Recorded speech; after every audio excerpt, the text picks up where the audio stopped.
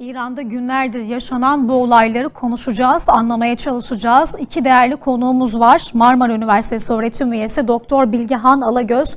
Bilgehan Hocam merhaba, hoş geldiniz yayına. Merhaba, hoş bulduk. Teşekkür ediyorum ve İran Başkanı Doktor Hakkı Uygur da bizimle. Hakkı Hocam merhaba, siz de hoş geldiniz. Teşekkür ederim Nurdan Hanım, hoş bulduk. İyi yayınlar. İki değerli konuğuma da teşekkür ediyorum. İran konusunda iki uzman konuğumdan bugün İran'da yaşananları anlamaya çalışacağız. Bilgehan Hocam, önce sizinle başlamak istiyorum. Sosyal medyada çok çarpıcı görüntüler var. Basına yansıyanın dışında bir de artık malum sosyal medyayı takip ediyoruz. E, protestolara destek de geliyor dünya çapında. Türkiye'den de var. Kadınların başörtülerini çıkarıp yaktıklarını görüyoruz. Saçlarını kesen kadınlar görüyoruz ki İranlı kadınlar için saç çok önemli, çok kıymetli. Ee, bir genç kadının ölümüyle başladı her şey. Bir taraf doğal ölüm diyor. Ailesi hayır, gözaltına alındı, işkence gördü. Bu yüzden hayatını kaybetti diyor. En basit soruyla başlayayım. Ne oluyor, ne yaşanıyor? Siz İran'ı takip ediyorsunuz. Ee, neler var bu yaşananların arkasında? Nurdan Hanım öncelikle e, bir hemcinsimin bu şekilde ölmüş olmasından dolayı büyük bir üzüntü hissettiğimi ifade etmek isterim.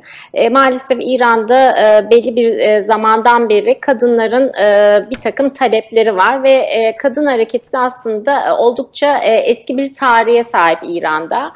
Bu bağlamda son dönemki gelişmeleri aslında 2014'ten itibaren gazeteci Mesih Ali, Ali Necat'ın başlattığı hareketle ilintili olarak değerlendirmek gerekir. Kendisi şu an ABD'de yaşıyor ve hı hı. E, o dönem e, başörtüsü takmadan çekmiş olduğu bir fotoğrafı sosyal medyasında e, paylaşmak suretiyle bir hareket başlattı ve bu hareket 2017'den itibaren Beyaz Çarşamba hareketine e, evrildi.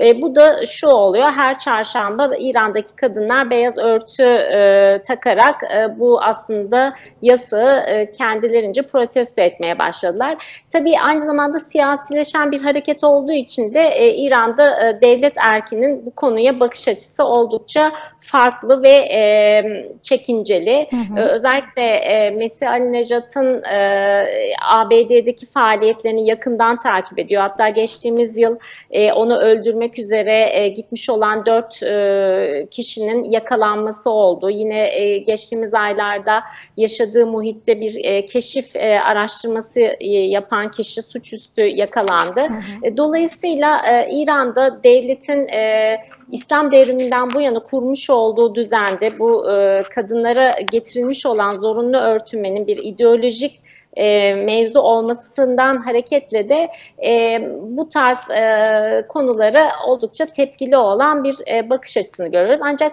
bu son hadise çok e, hayatın olağan akışı içerisinde gerçekleştiği için insanlarda infial e, yarattı. E, çünkü bir e, eylem e, yapmak üzere ortaya çıkmış bir kadının ölümü değil buradaki. Hı hı. Tamamen günlük hayatta bir e, ziyaret e, sırasında e, gözaltına alınıyor ve e, ölümü oluyor. Dolayısıyla da bu insanların vicdanlarına oldukça dokunan bir durum oldu. Dünyanın e, genelinde de kadınların bu konuyu sahiplenmiş olmasını bununla ilintili olarak değerlendirmek gerekir. Hı hı. E, ilerleyen e, akışta Hakkı Bey herhalde biraz siyasi tarafını da değinecektir. E, söz tekrar geldiğinde ben devam ederim. Teşekkür ederim Bilgen Hocam. Ben de Hakkı Hocam'a o kısmını sormak istiyorum. Siz zaten devlet erkinin bakış açısının önemli olduğunu söylediniz bugün yaşanan olaylarda. Hakkı Hocam'dan da biraz bizi bu konuda bilgilendirmesini rica ediyorum. Çünkü Cumhurbaşkanı reisinin açıklaması da önemli. Bu yaşanan olaylar için Batı'nın iki yüzlülüğüyle karşı karşıyayız şeklinde bir açıklama yaptı.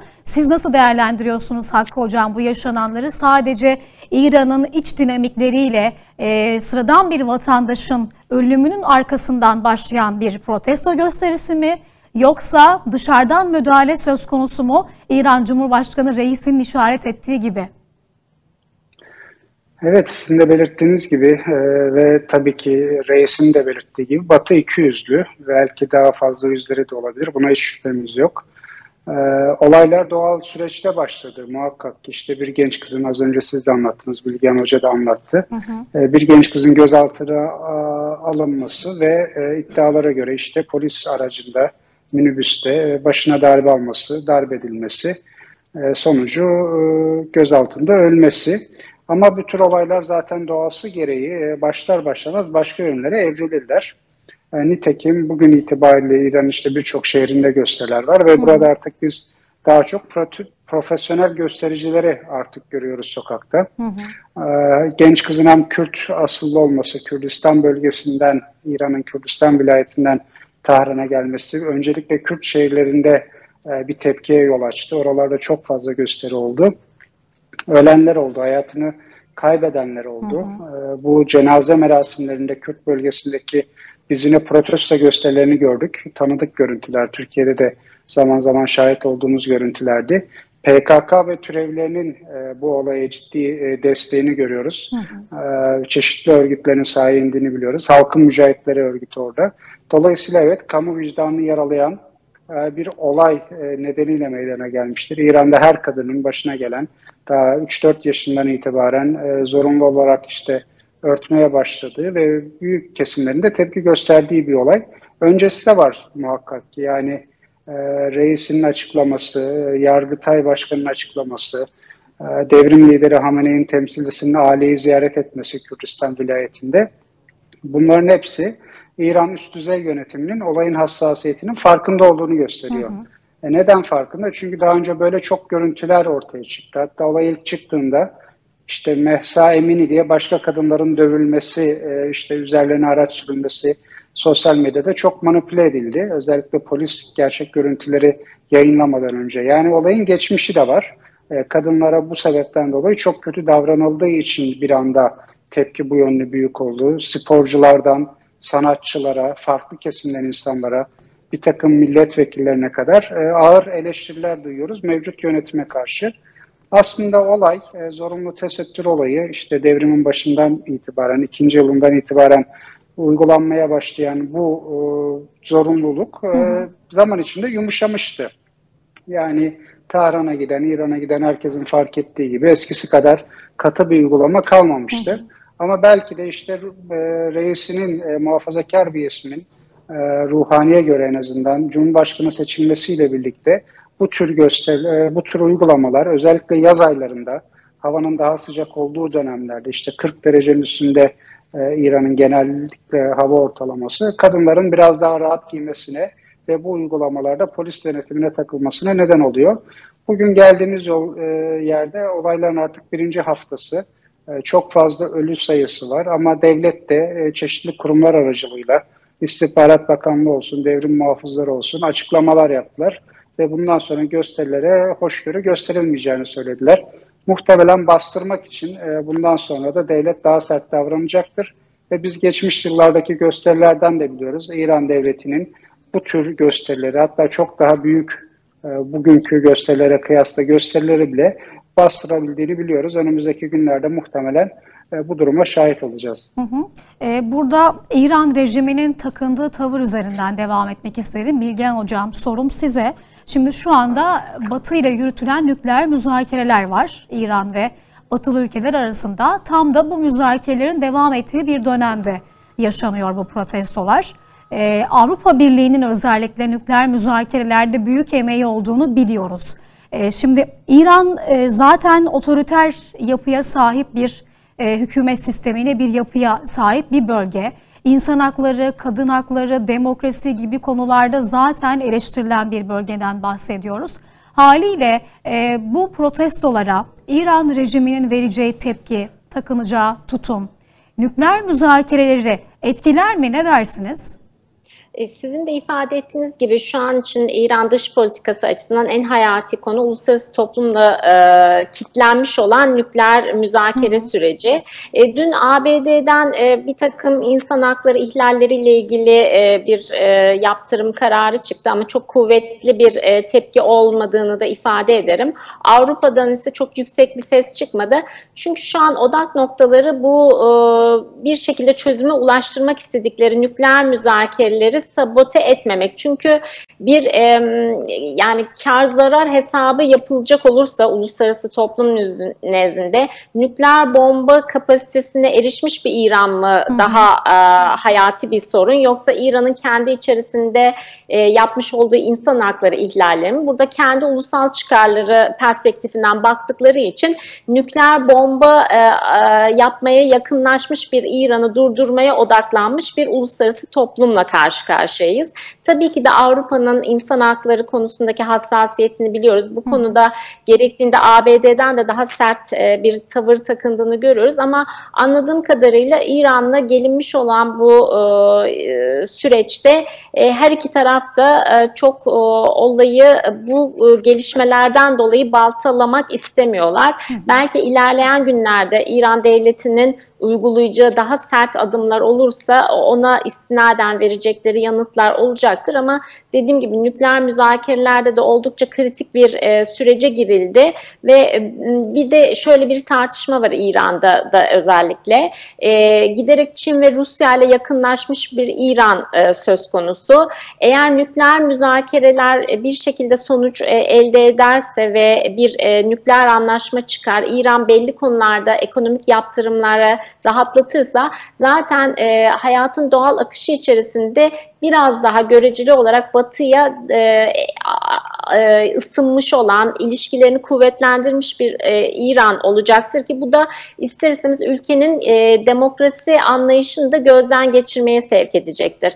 Dolayısıyla İran'da da özellikle reformistlerin ön plana çıkardığı konu bu giderek artan Çin ve Rusya yakınlaşmasından ziyade olabildiğince nükleer müzakereleri başarılı bir e, sürece sokmak ve böylelikle uluslararası toplumdan, batı dünyasından kopmamak ve nihayetinde ülke içerisinde demokrasi, insan hakları ve kadın hakları e, konularında bir e, nebze rahatlama sağlamak. E, o sebeple de ben e, şu an e, gerek İran tarafının gerek Avrupa ve ABD tarafının bu nükleer müzakere sürecine büyük önem verdiğini düşünüyorum ve e, ilerleyen günlerde de e, bununla ilgili adımları bir, bir, bir nebze daha kuvvetlendireceklerini e, tahmin ediyorum. Yani aslında halk zaten uzun süredir İran halkı Batı'nın yaptırımlarıyla mücadele ediyor. Sağlık alanına kadar e, birçok yaptırımla baş ediyor. Diğer taraftan zaten İran'ı biz zaman zaman sokakta gördüğümüz bir halktan bahsediyoruz. 2009'da,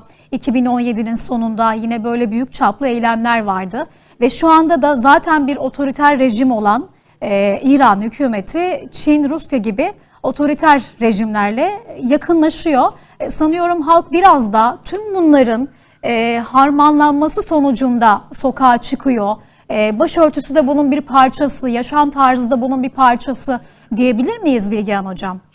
Tabii siz çok iyi ifade ettiniz. E, yani birikmiş bir enerji var. Hı hı. Ülke hem ekonomik anlamda bir e, sıkıntı yaşıyor. İşte e, benzin zamlarından dolayı çok önemli olaylar çıktı ve ülkenin daha çok fakir kesimlerinde önemli protestolar oldu. Hatta uzun bir süreye yayılmış internet yasakları hı hı. vesaire şahit olduk tam pandemi öncesinde. dolayısıyla İran'da zaten tek sıkıntı demokrasi ve insan hakları konusunda değil. Aynı zamanda ekonomik sıkıntı da halkın e, sosyolojik kesimleri arasındaki asimetri e, ciddi bir e, sorun teşkil ediyor. Dolayısıyla tüm bunların ekseninde zaten şu an e, alana inmiş bir e, protesto e, sürecini görüyoruz. Çünkü e, belli şehirlerdeki söylemlere baktığınızda sadece şu an e, e Mehsa Emini'nin e, üzerinden yani bir kadın hakkı e, ihlali üzerinden sloganlar atılmadığını aynı zamanda e, daha farklı konulardaki evet. rahatsızlıkların da dile getirildiğini görüyoruz. Bu da zaten bu tarz sosyolojik e, durumlarda oldukça olağan bir durum. Evet. Peki Hakkı Hocam siz ne dersiniz? Hem Batı ile yürütülen nükleer müzakerelere yansıması ne olacak? Hem de e, Bilgehan Hocama sorduğum gibi bugün yaşananların arkasında bir başörtüsü meselesi gibi görünse de, yaşam tarzı gibi görünse de aslında ekonomik gerekçeler İran halkının e, içinde bulunduğu o dar boğaz diyebilir miyiz? Kesinlikle diyebiliriz. E, sizin de bahsettiğiniz gibi Bilgehan Hocam da anlattığı gibi İran halkı e, uzun süredir ciddi problemlerle boğuşuyor. E, ekonomik yaptırımlara uğradı Trump döneminde çok ağır hı hı. yaptırımlara, petrol satışı sıfıra düştü. Bunun dışında işte uluslararası bankacılık sisteminden çıkartıldı, sivil sisteminden çıkartıldı. Peşine korona bütün dünya gibi İran'a da vurdu. Bütün bunlar İran'ı oldukça bunalttı. Biraz normalleşme dönemi olacakken işte İbrahim Reisi gibi bir figür geldi. İçerideki hı hı. demokratik, dar da olsa demokratik kanallar iyice kapatıldı ve halk bunalmış durumda. Peşine böyle bir olayın gelmesi de işte az önce de dediğimiz gibi bardağa taşıran son damla oldu ve herkes aslında kendi problemini e, protesto ediyor. Evet. İşte bir yerlerde Bici Kürdistan deniliyor, bir yerde milli hükümet diye Türkçe sloganlar atılıyor. Bir yerde rejim karşıtı sloganlar var. E, dolayısıyla çok farklı gruplar, çok farklı taleplerle sokakta. E, çünkü genel olarak sorun o. Sizin de bahsettiğiniz gibi bu siyasi kanallar, tepki kanalları, meşru kanallar çok sınırlı. Hı hı. İnsanlar o kanallarla sorunların çözüleceğinden bir beklentisi yok. Yani hiçbir siyasi grup çıkıp da biz iktidara gelirsek başörtüsü serbest olacak, dileyen takabilir, dileyen takamaz diyemiyor. Evet. Ve bu yalnızca başörtüsü konusunda değil, toplumun genelini ilgilendiren hemen bütün ekonomik konularda böyle. Hiçbir siyasi grup çıkıp da biz iktidar olursak devrim muhafızlarının elindeki işte bu ekonomik kurumları, ticari kurumları alacağız. Onları kışlalara çekeceğiz diyemiyor. Dolayısıyla bu halkta bir e, birikime yol açıyor. Talepler, meşru talepler sürekli erteleniyor, keskinleşiyor ve bir müddet sonra patlıyor. Bu bir döngü İran'da. Daha önce yaklaşık 10 yılda bir olurdu. Şimdi bu döngü iyice kısalmış evet. durumda. 2-3 yılda bir oluyor artık. Ama nükleer müzakerelere, Batı ile ilişkilere nasıl bir etkisi olur derseniz bir etkisi olmaz. Hı hı. Ee, İran 2007'de, 2008'de e, Obama ile görüşürken de 2009'da da işte benzer olaylara e, yol açtı. 15 yıl önce de yani İran toplumu karışıktı, müzakereler vardı.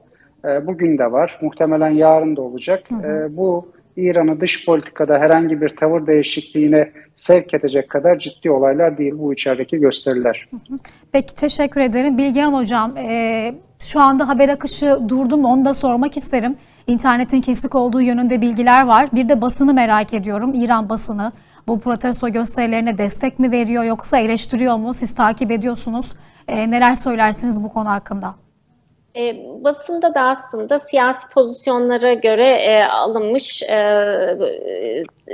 yayınlar var. Özellikle reformist e, Kanada yakın basında e, bu olay sahiplenildi ama yanlış hatırlamıyorsam dün itibariyle İran istihbaratından bir talimat gelmiş. Bu e, olayla ilgili haber yasağı gelmiş. Hamane'ye yakın işte Keyhan gibi gazetelerde ise olayın aslında olan bir yani normal akıştaki bir ölüm, işte kalp krizi hadisesi e, oldu. Dolayısıyla burada aslında bir kaos yaratmak e, üzere bir kitle olduğu söylemleri paylaşılıyor. Dolayısıyla basında e, bu iki kanadı görüyoruz ama bu hı hı. saatten sonra bu yasakla beraber e, çok konunun gündeme geleceğini söyleyemeyiz. Yurt dışında olan İranlı muhaliflerin tabii yayınları var. Onlar olayı tamamen sahiplenmiş durumda. Kadın hakları ve insan hakları ihlallerini hı. zaten dile getiriyorlardı. Onun dışında internet evet zaman zaman kesiliyor ama bazı yanlış haberler de ortaya çıkıyor. İşte işte e, belli bir saat aralığında kesileceğine dair önce bir haber çıktı. Sonra e, İletişim Bakanlığı bunu yalanladı. Hayır böyle bir yasak yok dedi. E, dolayısıyla e, Hakkı Bey'in de ifade ettiği gibi böyle bir ortamda tabii e, olaylar e, uzadıkça e, olayı farklı yönlere çekmek isteyen taraflar da olabiliyor. Olacak, Yanlış evet. haberler, dezenformasyon da çok oluyor. Ya da e, olan e, hadiseleri küçültme, e, yok sayma tarafı devlet e, kanadında oluyor. E, o sebeple de umarım e, çok fazla insanın hayatını kaybettiği, yaralandığı ya da gözaltı mahkumiyet gibi e, sonuçların olmadığı bir e, süreçle bu olay şekillenir. Ama e, biraz önce de söylenildiği gibi İran'da bu tarz olaylar uzadıkça devletin sert bir tavır e, aldığına hep hı hı. şahit olduk. Nitekim reisi şu an dönüş yolunda ve e, kaos yaratmak isteyenlere müsaade edilmeyeceğine dair evet. bir e, söylemde bulundu. Bu da zaten e, olayların sert bir şekilde eğer uzarsa bastırılacağını bize gösteriyor. Peki son sorum Hakkı Hocam. Uzar mı olaylar? Ne dersiniz? Beklentinizle geçmiş deneyimleriniz e, İran konusundaki çalışmalarınız ne söylüyor?